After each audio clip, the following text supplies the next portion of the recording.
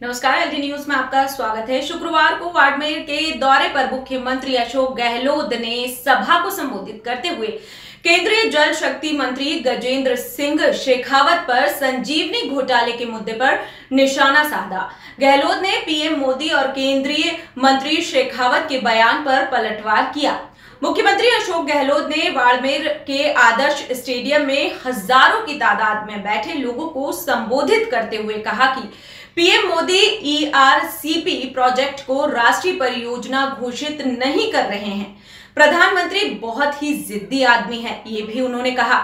मुझे उम्मीद थी कि अजमेर में तेरह जिलों के लिए इस योजना की वे घोषणा करेंगे, लेकिन घोषणा नहीं की गई। गहलोत ने प्रधानमंत्री नरेंद्र मोदी की ओर से कांग्रेस सरकार की स्कीमों से राज्य का दिवाला निकल जाने वाले बयान पर भी पलटवार किया है। उन्होंने कहा है कि कर्ज लेकर दुनिया भर में सरकारें चलती है, यह वित्तीय प्रबंधन होता है। मैं पीएम मोदी से पूछना चाहता हूँ कि साल 2014 में बीजेपी की सरकार जब बनी थी, तब भारत सरकार पर 55 लाख करोड़ का कर्ज था, जो आज बढ़कर 155 लाख करोड़ रुपए हो गया है। मोदी सरकार कर्जा कैसे ले रही है? बिना भारत सरकार की परमिशन के कोई भी राज्य सरकार एक लाख रुपए तक का कर्जा नहीं ले सकती है। वहाँ तक आपको कर्जा देते हैं।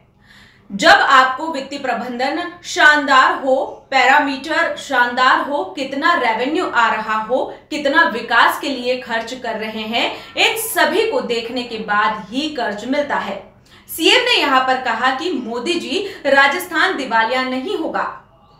आपके मंत्रियों के दिमाग का दिवालियापन निकल गया है। ये सारे आरोप इस सभा में यहाँ पर मुख्यमंत्री गहलोत द्वारा लगाए गए और उन्होंने कहा कि आप उसे ठीक करो।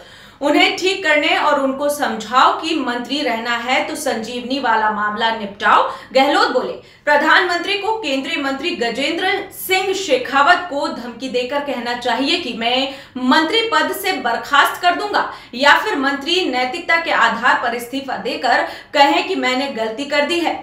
मुख्यमंत्री अशोक गहलोत ने आरोप लगाया है कि केंद्रीय मंत्री गजेंद्र सिंह शेखावत के इथोपिया और ऑस्ट्रेलिया में फार्म हाउस है।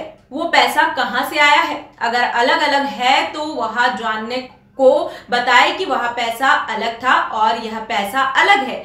गहलोत ने कहा कि Sanjivani credit cooperative society में हज़ारों लोगों का पैसा डूब गया है, जिसमें जोधपुर के भी लोग शामिल हैं और बाड़मेर के भी बहुत से लोग यहाँ पर इस घोटाले में शामिल हैं। ऐसे में मुझे जानकारी मिली है कि लोग उनके कपड़े फाड़ रहे हैं।